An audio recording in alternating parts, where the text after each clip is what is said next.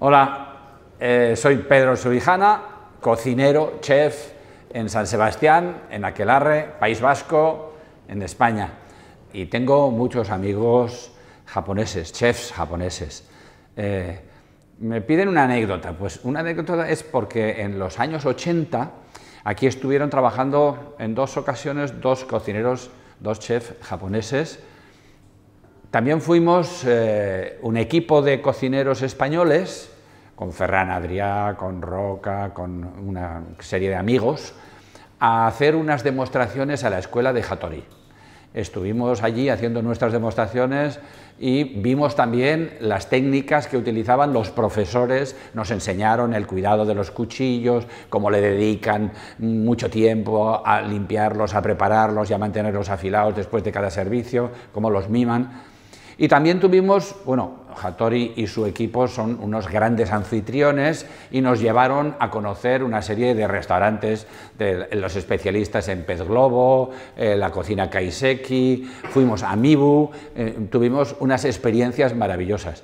También fuimos a visitar esa calle que hay toda dedicada al mundo de la cocina, con utensilios, con, eh, cantidad de cosas en torno al mundo de la cocina. Y bueno, tuvimos ocasión de, hablar, de charlar y de conocer a mucha gente del mundo, del entorno de la hostelería. Les cogimos mucho cariño, pero es que luego han venido también muchos de ellos a los congresos, congresos que en San Sebastián se celebran desde hace más de 25 años y entonces hemos ido haciendo relaciones y amistades con muchos de ellos. Eso es una de las cosas más importantes de la vida, la colaboración, el apoyo, la amistad, los valores, los sentimientos. Recibimos muchísimos clientes japoneses. Vienen clientes japoneses en cantidad. Hace poco, con una celebración que hubo en Japón, también eh, especialmente tuvimos un año mucho más abundante de japoneses. Nos gusta mucho lo respetuosos que son, lo educados que son, lo ceremoniosos, lo disciplinados, lo que son capaces de guardar el orden y, por otra parte algunos de ellos también se han hecho amigos nuestros.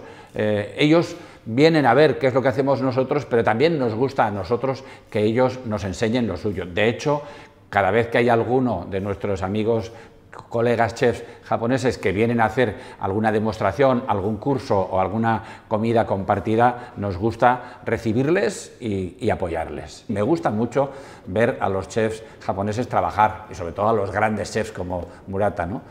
Y bueno, él ahora me pide que haga unas grabaciones en apoyo a, nuestros colegas japoneses, a los cocineros japoneses, y entonces, bueno, lo hago con mucho gusto. Y vamos a ver eh, cómo podemos incentivar a todo el mundo a que supere esta crisis del COVID que nos invade a todos y al mismo tiempo a todos los chefs que participan en, el concurso para que hagan honor a los productos y a las técnicas japonesas.